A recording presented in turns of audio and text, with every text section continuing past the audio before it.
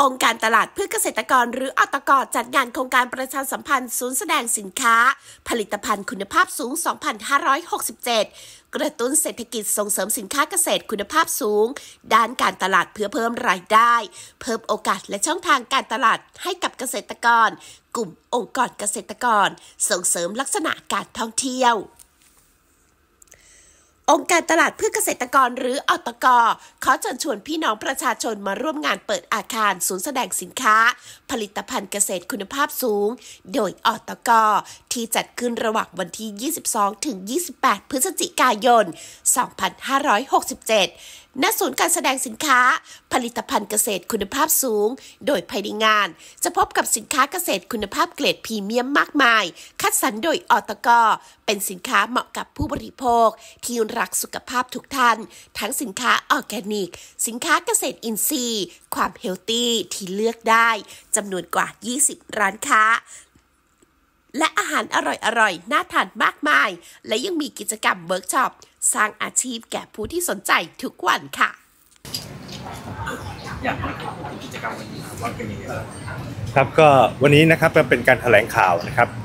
งานเปิดตัวนะครับศูนย์แสดงสินค้าเกษตรคุณภาพสูงของอตกนะครับ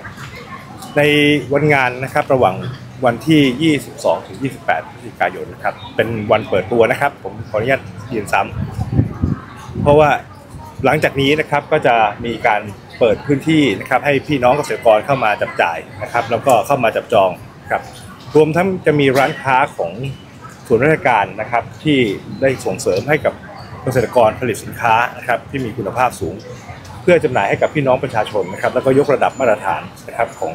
คุณภาพสินค้าเกษตรของประเทศไทย ให้เป็นไปตามความต้องการนะครับ แล้วก็เป้าความคาดหวังของผู้บริโภคนะครับ ก็จะขอเรียนเชิญนะครับ พี่น้องประชาชนนะครับลูกค้าทุกท่านนะครับที่น่ารักขอเชิญเข้ามานะครับช่วยกันนะครับสนับสนุนสินค้าไทยนะครับ สินค้าเกษตรของประเทศไทยนะครับ เพื่อที่จะให้เกิดการพัฒนาสินค้าเกษตรของเรานะครับ ให้สามารถแข่งขันนะครับกับนานาประเทศได้นะครับ ก็ขอเรียนเชิญครับ อย่างสินค้าที่เลือกเข้ามาความหลากหลายเราเนื่องจากอะไรครับ อันแรกเลยครับก็คือสินค้าที่ได้รับได้รับการรับรองนะครับรับรอง ไม่ว่าจะเป็นเรื่องของ Food Safety นะครับอาหารที่เป็น Healthy Food นะครับสินค้าเกษตรปลอดภัยนะครับสินค้าเกษตรที่มีได้รับมาตรฐานนะครับการรับรองจาก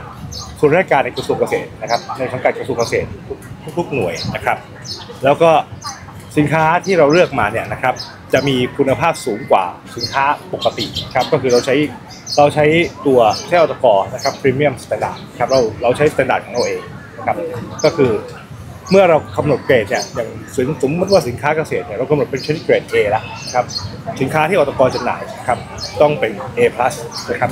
คือสูงกว่าครับไม่ว่าจะเป็นรูปลักษณะนะครับ ทั้งภาพลักษณ์ภายนอกนะครับ สินค้าตัว รถนะครับตัวกลิ่นนะครับตัว appearance ของสินค้าเองนะครับก็จะเป็นปัจจัยที่เราคัดเลือกนะครับใช้ในการคัดเลือกนะครับเพราะฉะนั้นเนี่ย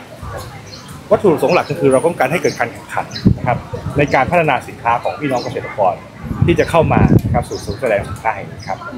อย่างว่าวันงานมีคนมาเดินก็จะมีโปรโมชั่นจากด้วยทั้งใช่ครับขายลดราคาแล้วก็มีตรงนี้มีโปรโมชั่นอะไรบ้างครับครับก็จะมีโปรโมชั่นเดี๋ยวโปรโมชั่นผมให้อืมท่านรองอธิบายดีกว่า ครับ ก็จะมีมีไข่ไก่ราคาพิเศษนะครับ ก็จะแผงละ65 บาท ก็จะจำกัด 200 แผงนะครับ แล้วก็จะมีคูปองส่งเสริมการขายก็เป็นส่วนลด 100 บาทภายในงานครับ ก็จะมีแจกให้ผู้ประกอบการให้กับลูกค้ามาจับจ่ายใช้สอยภายในงานด้วยครับ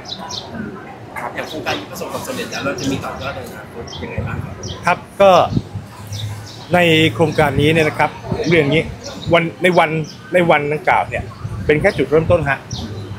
คือหลังจากนี้นะครับเราก็จะมีพื้นที่ที่เป็นพื้นที่ตลาดสินค้าเกษตรคุณค่าสูงจริง ๆ นะครับ เพื่อรองรับพี่น้องเกษตรกร แล้วก็จะทำให้เกิดตลาดที่เป็นตลาดต่อเนื่องครับสินค้าเหล่านี้เนี่ยอตกก็จะมีการคัดเลือกครับ จะมีการคัดเลือกสินค้าที่เป็น Product Champion นะครับเพื่อนำไปจัดทำโรดโชว์นะครับในต่างประเทศแล้วก็ในงานแสดงสินค้าต่างๆครับเพื่อยกระดับแล้วก็วางโพซิชันของสินค้านะครับของอตกให้ในตลาดต่อไปครับ ก็ครับถ้าในวันงานนะครับ ก็ขอเชิญชวนพี่น้องประชาชนนะครับได้มาสัมผัสกับสินค้าที่มีคุณภาพสูงจริงๆที่ทางอตกของเราเนี่ยได้คัดเลือกมาจำหน่ายให้พี่น้องประชาชนนะครับจะพบว่าในกิจกรรมดังกล่าวในช่วงเวลาที่เรากำลังจัดขึ้นเนี่ย